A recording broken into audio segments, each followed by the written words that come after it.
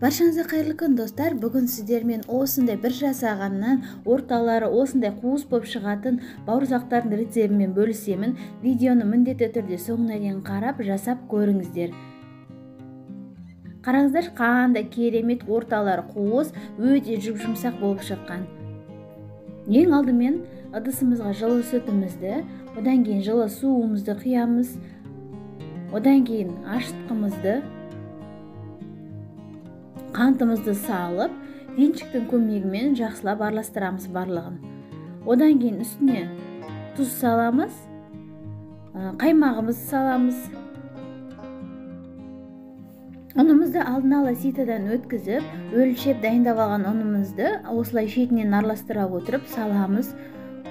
баардык унду бирден салмайбыз өйткөнү ар ундун тыгыздыгы ар түрлүү болуп келеди сондуктан четинен сала отуруп өлчөп алган унубузду салабыз баардыгын ушинтип жакшылап аралаштырып жумшак камыр ээлейбиз энди колдун көмөгү менен осулай ээлеп жиберемиз баардыгын эгер колдоруңузга жабышып жатса мен секилүү бир аз касык э, майсы куюп жиберип осулайынан бир ээлеп жиберсеңиз керемет болуп чыгады мен артык өлчөнген ундан артык салмадым. Ээлеп алган наныбыз міне осындай болуп чыкты енді оны жылы жерге бетине салафан жауып одан кийин үстүнө орамал жауып жылы жерге бир саатка коюп коебуз міне бир сааттан кийин осындай керемет камыр болуп көтөрүлүү керек. Енді үстөлдүн үстүнө аздап un сеуип жиберемиз одан кийин ун камырыбызды салып одан кийин бир осулай колдун көмөгү менен дөңгөлөктөп жыйнап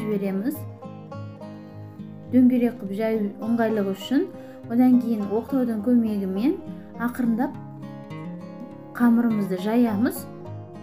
достор менин ютуб арнамда керемет салаттардын торттардын және басқа да булочкалардын рецепттери бар. Соларды карап көрүңүздөр және алдыңкы убакытта менин басқа да рецепттеримди жиберип алмаш үчүн астыдагы подписаться кнопкасын басып жандагы коңгурушаны басып койсоңуздар алдагы убакытта менин рецепттеримди жиберип алмай үзбөй көрүп отуратын боласыздар. Енді осылай стакандын немесе дөңгөлөк форманын көмөгү менен камырларыбызды кесип чыгабыз артык жерлерин жыйнап алабыз да кайтадан бауырсак кылып жайып алган бауырсактарыбызды он беш жыйырма минутка көтөрүлгүнчө коебуз одан кийин кызып турган майыбызга осулай четинен сала отуруп пиширип алабыз эки жагын аударып сәл гана кызартасыздар катты кызарып кетпесин міне биринчи жагы пишти энди экинчи жагын да осулай пиширип алып бөлөк ыдыска салып коябыз міне бауырсактарыбыз әдемі болып керемет болып пісті. Сіздер де жасап көріңіздер сіздерден де бірден шығады деген ойдамын. Достар менің ютуб арнама тіркелмесеңіздер тіркеліп қоңыршаны басып қойыңыздар. Алдағы уақытта мен сіздерге бұдан да керемет рецепттермен бөлісіп отырамын.